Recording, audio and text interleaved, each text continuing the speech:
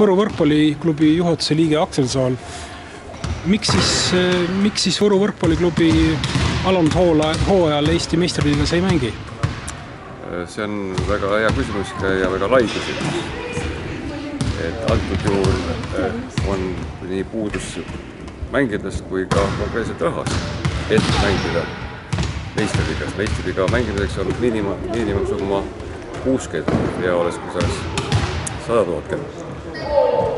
Ja teine, teine põhjus on, et need meie tugevad mängijad on, mängivad teistes klubides ja näiteks, näiteks Tartus on Robert Täht ja Hendrik Reial. Pärnus on Tamar Nassar, et kui need oleksid kasvanud mänginud Võru klubi eest, oleks, oleks kindlasti mänginud ka meistriliigas. kuidas Võru klubil viimastel aastatel läks meistriliigas? no meistriliigas oleme ikka neid püüdnud kas viiendat või kuuendat kohti, tähendab Eesti meistrivõistlused ja, ja oleme olnud ka Senkeri liigas kaheksa hulgas. aga nüüd Rakverega me oleme neid viiendaid kuuendaid kohti jaganud siiamaani. miks meistriliigas osalemine on ühele võrkpalliklubile oluline?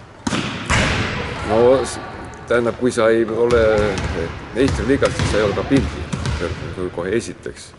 Ja teine asi ei ole ka ju siis nendel tulevastel mängijatel nagu kuhugi nagu pürgida.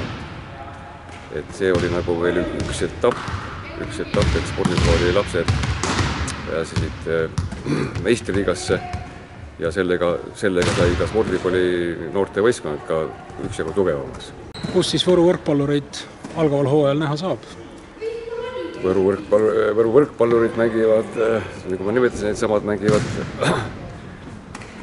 uues liigas ja, ja Robert Täht on hoopis Poolas. aga, aga meie mängime esimest liigat ja, ja mehed on tahtmist täis ja, ja treeningud toimuvad regulaarsed ja, ja, ja ma arvan, et, et ega me viimaseks seal ka ei jää,